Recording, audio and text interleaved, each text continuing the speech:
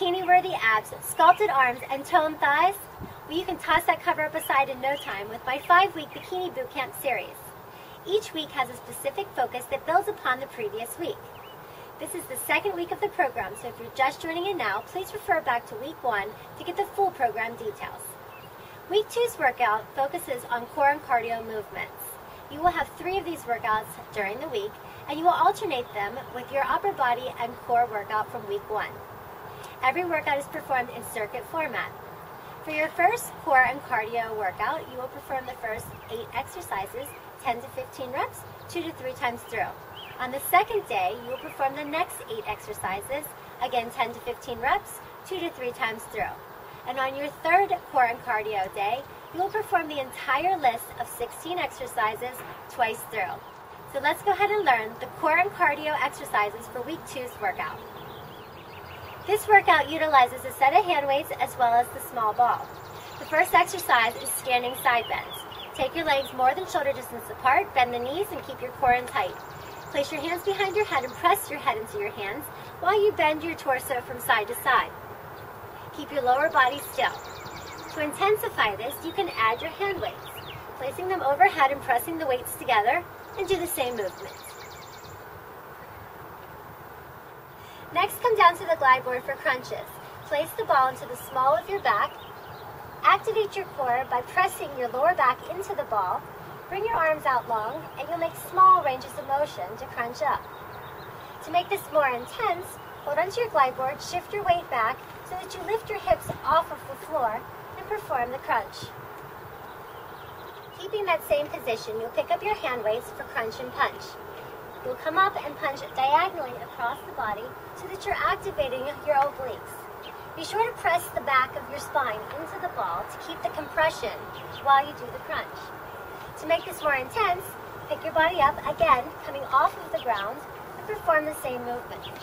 These are very small to keep the activity into your core and to keep the movement intense.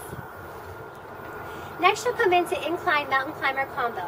Come down to a plank position with your core in tight and your spine is long. Shoulders are on top of wrists. You'll do two to the center and then two diagonally. Once you get this, pick up your pace. Two middle, two side. To make this more intense, you're going to open up your glide board and keep it open while you do the same movement. Next, you'll face away from the tower for pike ups. Place your hands at the very bottom base. Extend your legs long into a plank position with your shoulders on top of your wrists and your core is engaged. Lift your hips up high and then return back to your plank position. Your upper body really doesn't move. It's just your hips hinging all the way up. To make this more intense, you can add a single leg. If you are doing single leg, be sure to do this exercise on both sides. Now flip it back around to face your tower for plank reaches. Come into a plank position with your shoulders on top of your wrist, your core is engaged, and your spine is long. Begin to shift through your ankles to reach to the edge of your glide board.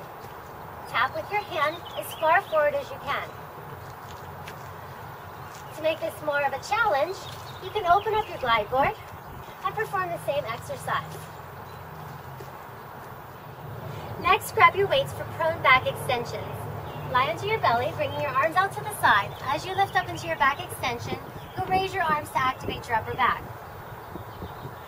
You can change this by turning your thumbs up and rotating them back, or you can just keep your pinkies facing upward.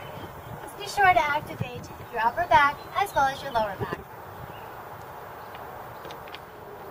Next, you'll perform two jump squats followed by two lunge drops. Looks like this. Two jump squats, lunge drop, together, two jump squats, two lunge drops.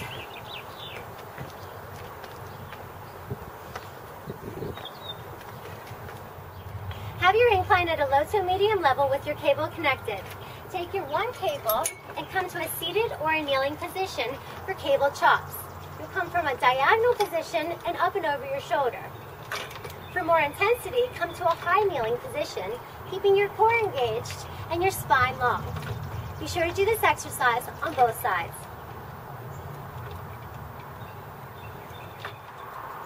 Take both cables into your hand and face away from your tower for cable lowers. Have a supine position onto your glide board. Lift the legs and extend the arms out from your chest.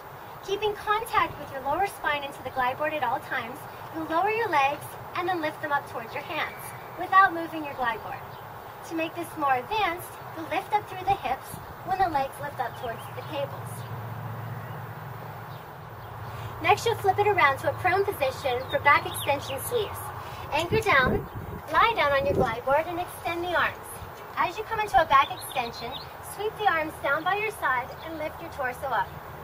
Be sure to keep your spine elongated and breathe through the exercise.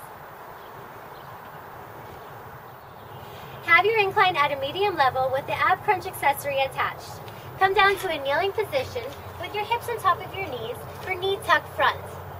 Performing small, short ranges of motion, keep your core engaged and draw your knees in towards your arms. Next, you'll turn your knees to the side for knee tuck side. Perform the same action, bringing your knees up to your arms without moving anything but the lower body. Be sure to do this exercise on both sides. The last three exercises are cardio to really blast and burn the calories. The first is running up, up, down, down. Face your tower on an incline, lead with one leg, running up and then down.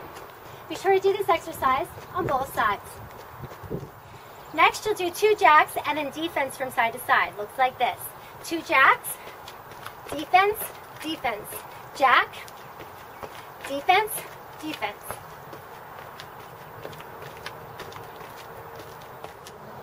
The last cardio exercise are step-up hops. Face in towards your tower and place the inside leg onto your glide board.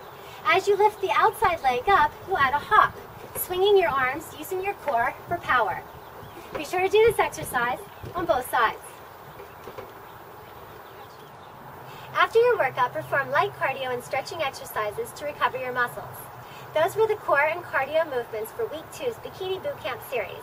I look forward to seeing you for next week's new challenges.